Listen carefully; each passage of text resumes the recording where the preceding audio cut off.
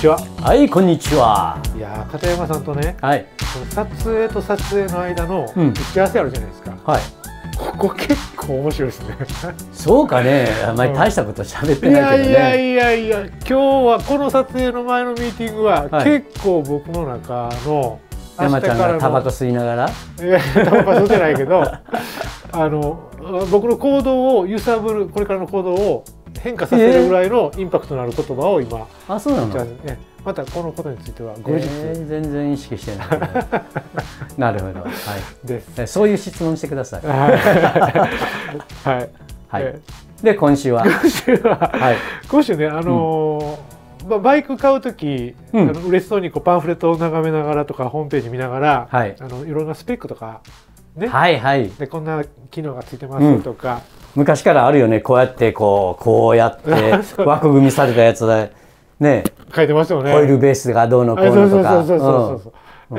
全長何ミリとか、はいえー幅馬力がどうのこうのとか、はいいっぱい書いてるよね、重さがどうのって。あれでねこれどうやって諸言表っていうのかな。諸諸言表諸言表ああ、そうだね。うんどう見たらええのかっていうのをちょっと片山さんに教えてほしいなと思ってるんですけどあのトルクと馬力とはあ最高出力回転数とか最大トルク回転数とか書いてあるじゃないですか。今なんとなく頭の中でグラフが出てきたけど。はい、鼻鼻水も出てきたな、あれって、えーはい。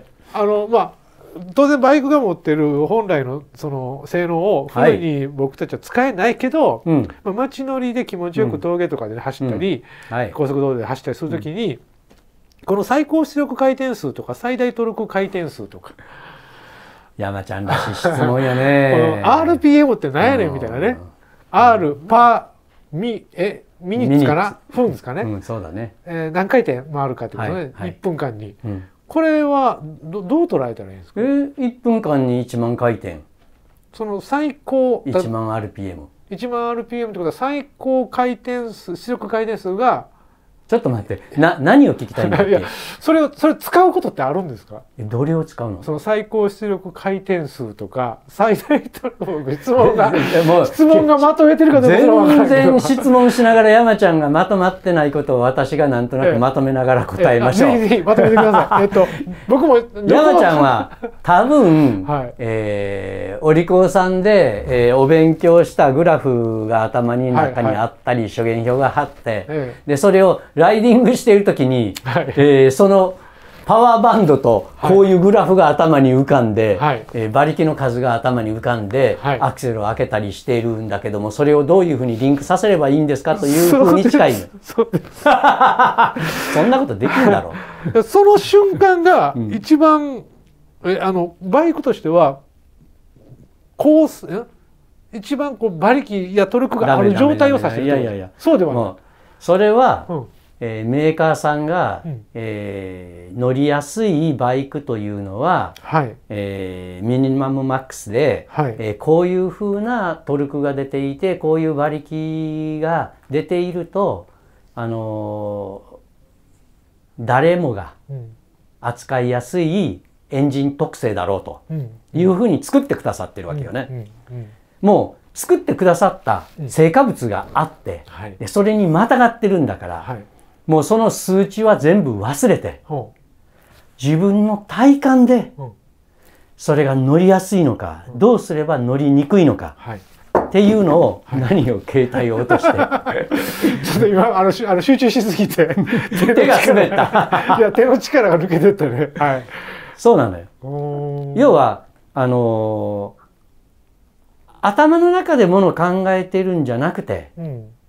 えー体感したものを頭の中に覚え込ましていく、うんうんうん。細胞レベルに。でその時にいやあここからアクセル開けたらうん。加速するなとか、例えばそれが 3000rpm とするよ、うんねうんで 3000rpm だったら加速するんだと。うん。すぐに加速するなと、でも同じ 3000rpm でも4速にした時にうん。来ないなと。スピードは出ているのに、はいはい。4速だったら4500回転にならないとはい。スロットルについてこないと、はいはい。なんでだろううん。っていうふうに、うん。これは負荷がかかってるからよね。はい。その体感を自分の中に染み込ませないと。うん結果的には自分のバイクを一番ここでシフトダウンしようとかうん。ここでシフトアップしようというふうにうん。上手に乗れないじゃない。うん。うん。いや乗れないじゃないって言ってもふんって素直に言えないよね。ね。だから、うんえー私が言わんとしているのはもう時間が来たので ちょっと待って、ち ょまっと待って、とめるとちょっと待って、ちょっと待って、まとめといて、まとめといて。皆さんすみません、ちょっと待ってください。ちょっと待ってくださいね。あの、えっとね、例えば、えっと、えっと、うん、そうね、あの、CB 乗ってます。はい知ってます。3000から5000回転ぐらいが、僕一番気持ちいいんですよ。はい、で、えーっと、多分トルクフルなんでしょトルクフルなんですか、うん。でスペック表を見ると最高出力回転数が7500回う。転、はい、で最大トルク回転数が5500回転。そうだね。ということはうん。僕が気持ちいいところのまだ先にあるんですね、えっと最高。最高。の馬力はね。出力。回転数も最大トルク回転数も。ということは一番ええとこ僕使ってないんかなって、うん。でもっと回さなあかんのかなって思ってるんですけど。トルクのあの今のところでいいんじゃないですか？ほー。30005000ぐらいのところでトルクがぐーっと立ち上がっているはい。ところが、はあの乗りやすいと思ってるんだから、はい。もっと自分を信じてあげなさい。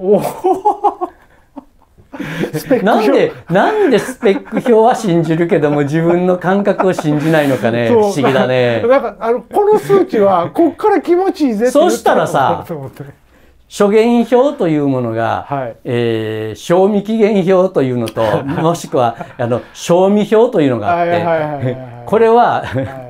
30度にして食べると美味しいカレーライスですって書いててはいはいはいはい35度だってそのカレーライス食べたら美味しくないのかと。うんうん40度だったら美味しくないのかっていうふうになるわけ。よ。うんうんうんそうじゃなくて自分が口に入れた時におお美味しいと思ったらうん。それが25度であれ40度であれいいじゃない。うんうん。そね。うん。自分の味覚そのものを信じる。うん。味覚に対しては自分はうん。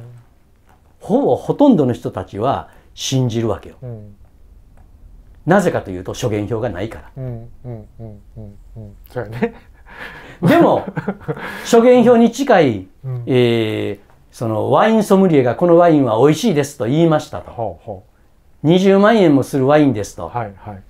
えー20年も寝かしたワインですって言われた、刷り込まれた状態でうん。ワイン飲むと美味しいですねっていう人がたくさんいる。うんうん。でも本当にワインを知ってる人は、うん。あ違うねとこれブッショネだねうん、傷ん。でるねっていう人もいれば。うん。あまだ若いねという人もいる、うん。あこれ2時間後に開くよとか。うん。5時間経たないとダメだねって。え。で自分の味覚を信じるから味っていうのは追求できる。だからバイクも一緒で自分の感覚を信じて信じて信じて追いかけていかないと面白さが結果諸言表止まりなのねと。うん。もう一元じゃない。うん。終わっちゃうわうんもう山ちゃんのバイクの楽しみ方は3000から5000で諸言表で楽しいですよって書いてたら。ところがそれがそこはか知れぬ二足での回転域はい。さっき言ったように4足での回転域のその差を自分の感覚が深く知っていけば、自分の感覚との今度お話ができるわけだよね。うんうん。あれおかしいなと。この間はこれで楽しいと思ったのに今日は何でだろうってちょっと待って。俺今日体調悪いのかなとか。うん。違うなと。この間はあの寒い10度に満たない気温の時に素晴らしいと思ったけども今日はもう28度で陽気がポカポカだと、こんなに温度差があるからこのバイクの感覚が変わっていて俺の感性は一律で正しいのかもしれないっていうふうに何が変化しているのかということを見定めていける。要は自分の楽しみ方の追求にいけるわけだよね。だからこれはある種無限とは言わないまでも誰が面白いと思ってるんですか楽しいと思ってるんですかバイクが言ってるんですか諸言表が言ってるんですかっていう話に行くと違うでしょと。山ちゃんあなたが言うんですよねと。俺が言うんですよねと。君が言うんだよねと。そうすると君が感じている楽しさは一体どういうものなのっていうところをいつも記録化していって残していくとそれがデータベースになるわけだよね。うん。諸言表が間違ってるっていうふうに言えるかもしれない。なぜかというと調子悪くなったバイクは一番調子のいい状態で諸言表を書いてるわけだから。うん。うん。1万キロ走ったやつとうん。オイルが劣化したやつとうん違うよね。うんアロアンスあるもん。5%ぐらいの馬力のアロアンス絶対市販車はあるよ。